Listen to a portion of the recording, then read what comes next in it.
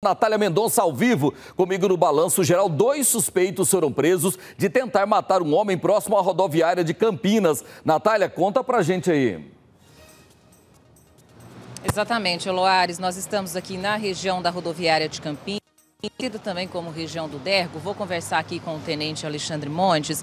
Tenente, vamos contar o que, que aconteceu aqui, o horário que foi, enfim, quem são essas pessoas. Boa tarde. Boa tarde. Ontem, pelo início da manhã, Houve aqui, na, bem próximo aqui ao terminal, uma tentativa de homicídio, é, onde dois indivíduos balearam outro que estava aqui nas proximidades. Esse outro que estava aqui estava fazendo o quê? Então, segundo o levantamento da nossa inteligência, esse, esse que foi baleado estava aqui comercializando droga. É, infelizmente isso acontece muito aqui na região. A gente tem as imagens aí de circuito que mostram esse carro vermelho onde esses dois autores estavam e eles passam atirando e muita gente sai correndo, né? Isso. É, assim que aconteceu o crime, né, que foi por volta de 6 horas da manhã, a nossa equipe que estava posicionada aqui no batalhão de terminal, né, é, foi acionada e de imediato deslocou para o local e daí em diante a gente começou diligências no intuito de localizar os autores. Tudo ali por causa de uma dívida de... Segundo o levantamento da nossa inteligência, sim. Como é que vocês conseguiram prender esses homens? Então, a gente conseguiu as câmeras né, do, do, do local e conseguiu, através das câmeras, identificar um dos autores que foi detido no momento da detenção. Ele portava droga, ele estava com crack, é, é, maconha, estava com a balança de precisão. Esse indivíduo com tornozeleira rompida. É, vale ressaltar que eu, esse autor já com várias passagens pela polícia. E diante dessas informações, conseguiu é, identificar um segundo autor é, que tinha invadido no veículo e também estava com a arma do crime, é, que estava deslocando ali para a região de Porongatu. Né? De imediato a gente encontrou em contato com, com, a Polícia Militar da região, conseguiu fazer a abordagem desse segundo suspeito ali, chegando em Porongatu já.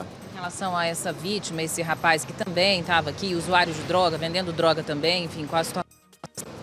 Ele não tem gravidade, né? A lesão não tem risco de morte, está sendo atendido, está tá hospitalizado no UGOL. Essa situação aqui nessa região, tenente, todos os dias, é um trabalho constante, tira um dia, no outro dia volta tudo de novo? Isso, a, a Polícia Militar, ela não... nosso trabalho vai ser feito diurnamente. É, não depende só da Polícia Militar, mas o nosso trabalho será feito, né?